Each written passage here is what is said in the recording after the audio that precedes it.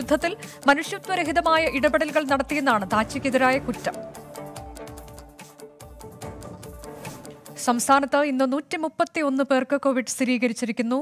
തുടർച്ചയായ പതിമൂന്നാം ദിവസവും നൂറിലേറെ കേസുകൾ ഇന്ന് പുറത്തുവരുന്നു. ഇന്നലെ നൂറ്റി ഇരുപത്തിയൊന്ന് പേർക്ക് സംസ്ഥാനത്ത് കോവിഡ് പോസിറ്റീവായിരുന്നു. ഇന്ന് നൂറ്റി മുപ്പത്തി ഒന്നായി അത് ഉയർന്നിരിക്കുകയാണ്.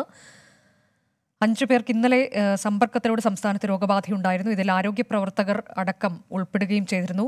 കൂടാതെ ഒൻപത് സി ഐ എസ് എഫ് ജവാന്മാർക്ക് കൂടി ഇന്നലെ കോവിഡ് സ്ഥിരീകരിച്ചു. ഇന്നിപ്പോൾ നൂറ്റി മുപ്പത്തി ഒന്ന് പേർക്കാണ് സംസ്ഥാനത്ത് കോവിഡ് സ്ഥിരീകരിച്ചിരിക്കുന്നത്. എഴുപത്തി അഞ്ച് പേർക്കാണ് രോഗമുക്തി ഉണ്ടായിട്ടുള്ളത്. പത്തൊൻപത് പുതിയ ഹോട്ട്സ്പോട്ടുകൾ പത്ത് പ്രദേശങ്ങളെ ഒഴിവാക്കുകയും ചെയ്തിട്ടുണ്ട്. ഏറ്റവും കൂടുതൽ കേസുകൾ ഇന്ന് പുറത്തു വരുന്നത് മലപ്പുറം ജില്ലയിൽ നിന്നാണ്. മുപ്പത്തിരണ്ട് പേർക്കാണ് ജില്ലയിൽ ഇന്ന് കോവിഡ് സ്ഥിരീകരിച്ചിരിക്കുന്നത് എന്നതാണ് വിവരം. പത്ത് പേർക്ക് ഇന്ന് സമ്പർക്കത്തിലൂടെ രോഗബാധ ഉണ്ടാകുന്നുണ്ട്. അതിലും മലപ്പുറം ജില്ല ഉൾപ്പെടുന്നുണ്ട് എന്നതാണ്. ഇന്ന് നൂറ്റി മുപ്പത്തി ഒന്ന് പേർക്കാണ് സംസ്ഥാനത്ത് കോവിഡ് പോസിറ്റീവ് സ്ഥിരീകരിച്ചിരിക്കുന്നത്. അല്ലമീൻ വിശദാംശങ്ങളുമായി. അല്ലമീൻ ഇന്നും നൂറ് കടന്നിരിക്കുകയാണ്. കോവിഡ് കേസുകളൊപ്പം തന്നെ സമ്പർക്കത്തിലൂടെയുള്ള രോഗബാധ പത്ത് എന്നതാണ്. അതും വലിയൊരു സംഖ്യ തന്നെയാണ്. എന്താണ് വിശദാംശങ്ങൾ? കഴിഞ്ഞ ദിവസം വന്ന റിസൾട്ടിൽ അല്ലെങ്കിൽ ആരോഗ്യവകുപ്പിന്റെ കണക്കിൽ ചെറിയ ആശ്വാസകരമായ സാഹചര്യം ഉണ്ടായിരുന്നു. എന്നാൽ ഇന്ന് വീണ്ടും ആശങ്ക ഉണർത്തുന്ന വാർത്തകൾ തന്നെയാണ് വരുന്നത്. നൂറ്റി മുപ്പത്തൊന്ന് പേർക്കാണ് സംസ്ഥാനത്ത് ഇന്ന് കോവിഡ് ബാധ സ്ഥിരീകരിച്ചിരിക്കുന്നത്. ഇതിൽ അറുപത്തി അഞ്ച് പേർ വിദേശ രാജ്യങ്ങളിൽ നിന്നും വന്നവരാണ്. നാൽപ്പത്തി ആറ് പേർ മറ്റു സംസ്ഥാനങ്ങളിൽ നിന്നെത്തിയവരാണ്. പത്ത് പേർക്ക് സമ്പർക്കത്തിലൂടെയും രോഗം സ്ഥിരീകരിച്ചിട്ടുണ്ട്.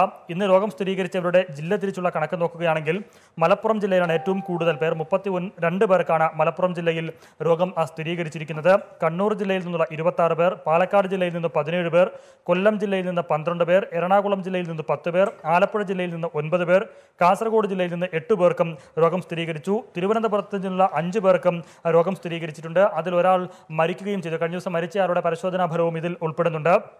തൃശൂർ കോഴിക്കോട് ജില്ലകളിൽ നിന്നുള്ള നാലു പേർക്ക് വീതം കോട്ടയം ജില്ലയിൽ നിന്ന് മൂന്ന് പേർക്ക് പത്തനംതിട്ട ജില്ലയിൽ നിന്നുള്ള ഒരാൾക്കുമാണ് ഇന്ന് രോഗം സ്ഥിരീകരിച്ചത്. ഇത് നേരത്തെ സൂചിപ്പിച്ചതുപോലെ ഇവരിൽ അറുപത്തി അഞ്ച് പേർ വിദേശ രാജ്യങ്ങളിൽ നിന്നും വന്നവരാണ്. നാൽപ്പത്തി ആറ് പേർ മറ്റു സംസ്ഥാനങ്ങളിൽ നിന്നും കേരളത്തിലേക്ക് എത്തിയതാണ്. ഒപ്പം പത്ത് പേർക്ക് സമ്പർക്കത്തിലൂടെയും രോഗം സ്ഥിരീകരിച്ചിട്ടുണ്ട്. ഇതിൽ ഏറ്റവും കൂടുതൽ മലപ്പുറം ജില്ലയിലാണ്. നാലു പേർക്കാണ് മലപ്പുറത്ത് സമ്പർക്കത്തിലൂടെ രോഗം സ്ഥിരീകരിച്ചിരിക്കുന്നത്. പാലക്കാട് കാസർഗോഡ് ജില്ലകളിലെ രണ്ടു പേർക്ക് വിധവും ആലപ്പുഴ കോഴിക്കോട് ജില്ലകളിലെ ഓരോരുത്തർക്ക് വീതവുമാണ് സമ്പർക്കത്തിലൂടെ രോഗം സ്ഥിരീകരിച്ചിരിക്കുന്നത്. കണ്ണൂരിലെ ഒൻപത് സി ഐ എസ് എഫുകാർക്കും രോഗം ബാധിച്ചിട്ടുണ്ട്. ഇന്നലെയും സമാനമായ സാഹചര്യം കണ്ണൂരിൽ ഉണ്ടായിരുന്നു.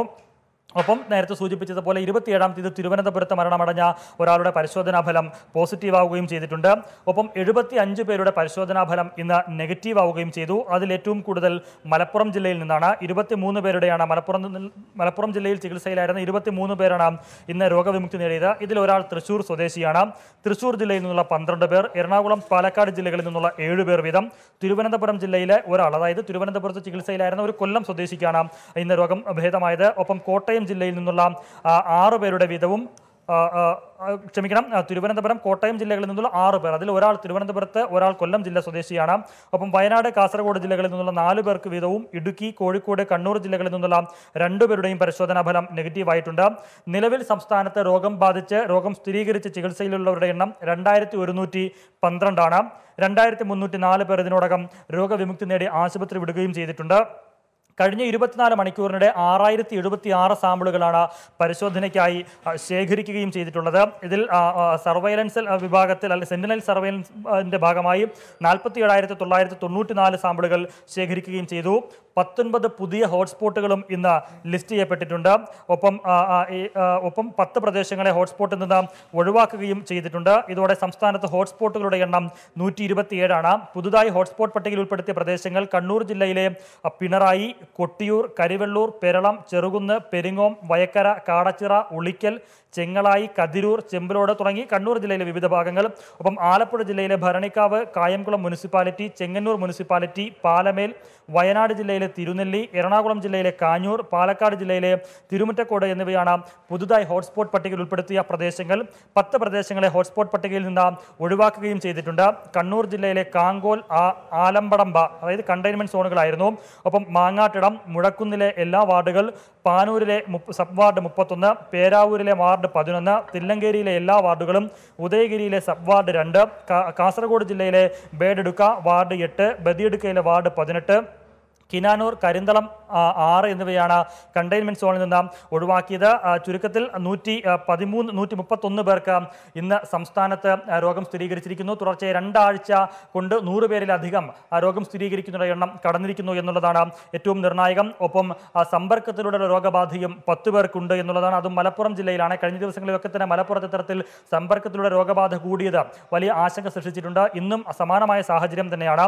ഒപ്പം ഇന്ന് ഏറ്റവും കൂടുതൽ രോഗം സ്ഥിരീകരിച്ചവരുടെ ജില്ല കണക്കിൽ നോക്കുകയാണെങ്കിൽ അതും മലപ്പുറം ജില്ല തന്നെയാണ് ഏറ്റവും മുന്നിൽ നിൽക്കുന്നത് അനുജ.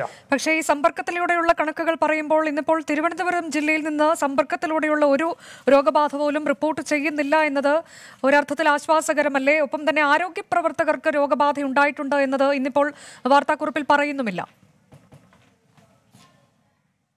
തലസ്ഥാന ജില്ലയെ സംബന്ധിച്ചിടത്തോളം തുടർച്ചയായ ദിവസങ്ങളിൽ സമ്പർക്കത്തിലൂടെ രോഗം സ്ഥിരീകരിക്കുന്ന ഒരു സാഹചര്യം ഉണ്ടായിരുന്നു പലതും ഉറവിടം വ്യക്തമാകാതെ രോഗബാധയേറ്റ ആളുകളുടെ കണക്കും ഒരു ഇടവേ ഒരു വേള വർദ്ധിച്ചു വന്നിരുന്നു. അത് തലസ്ഥാന ജില്ലയിലെ ഒന്നാകെ ആശങ്കയിലാക്കുകയും ഒരു സമൂഹ വ്യാപന സാധ്യത അല്ലെങ്കിൽ സൂചന ചൂണ്ടിക്കാട്ടപ്പെടുകയും ചെയ്തിരുന്നു. പക്ഷേ കഴിഞ്ഞ രണ്ട് ദിവസങ്ങളിലായി തിരുവനന്തപുരത്ത് സമ്പർക്കത്തിലൂടെ രോഗബാധ സ്ഥിരീകരിക്കുന്നില്ല. പ്രത്യേകിച്ച് നേരത്തെ രോഗം സ്ഥിരീകരിച്ചവരുടെ പ്രദേശങ്ങളിലൊക്കെ പരിശോധന നടത്തുകയാണ്. അവരുമായി ബന്ധപ്പെട്ട ആളുകളെയൊക്കെ തന്നെ ക്വാറന്റൈനിലേക്ക് പാർപ്പിക്കുകയും നിരീക്ഷിക്കുകയും ഒക്കെ ചെയ്യുകയാണ്. ഒരു ആശ്വാസകരമായ വാർത്ത തന്നെയാണ് ആ അർത്ഥത്തിലുള്ളത്. ഒപ്പം ആരോഗ്യ പ്രവർത്തകർക്കും ഇട ഒരു ഇടയ്ക്ക് ഇത്തരത്തിൽ ആരോഗ്യ പ്രവർത്തകർക്കും രോഗം സ്ഥിരീകരിക്കുന്ന ഒരു സാഹചര്യം തുടർച്ചയായി കണ്ടുവന്നിരുന്നു. പക്ഷേ അതിൽ നിന്നൊരു മോചനം ഇന്നത്തെ ആരോഗ്യവകുപ്പിന്റെ കണക്കിലുണ്ട് എന്നുള്ളത് ആശ്വാസകരമായ ഒരു സാഹചര്യം തന്നെയാണ്. പക്ഷേ അപ്പോഴും സമ്പർക്കത്തിലൂടെ രോഗബാധ പത്ത് പേർക്ക് സംസ്ഥാനത്ത് പൊതുവിൽ നോക്കുമ്പോൾ ഉണ്ട് എന്നുള്ളത് ആശങ്ക നിലനിർത്തുകയും ചെയ്യുന്നുണ്ട്. ഒപ്പം ഈ